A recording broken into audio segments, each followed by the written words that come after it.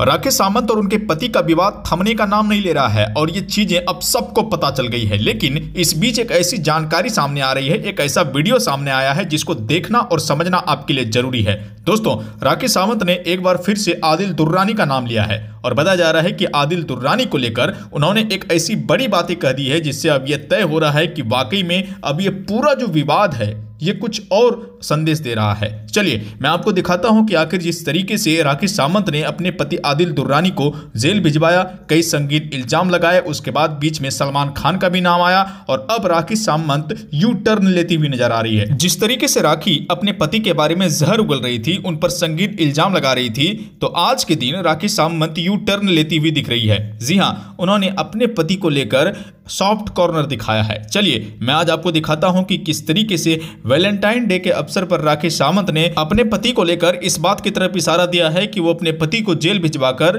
गलत कर चुकी है और ये फैसला उनके लिए इस ज़िंदगी का सबसे बुरा फैसला था। जी हाँ वो हाथ में फूल लेके सड़कों पर घूम रही है और जिस तरीके से राखी सामंत का ये आदत है कि वो हमेशा नौटंकी की तरह किसी चीज़ को पेश करती है और इस चीज़ को भी राखी ने एक नौटंकी की तरह ही पेश किया है। दोस्तों, इस वीडियो को ज़्यादा से ज़्यादा शेयर कीजिए। वीडियो को लाइक कीजिए, आगे के अपडेट के लिए चैनल को जल्दी से सब्सक्राइब कीजिए। नमस्कार।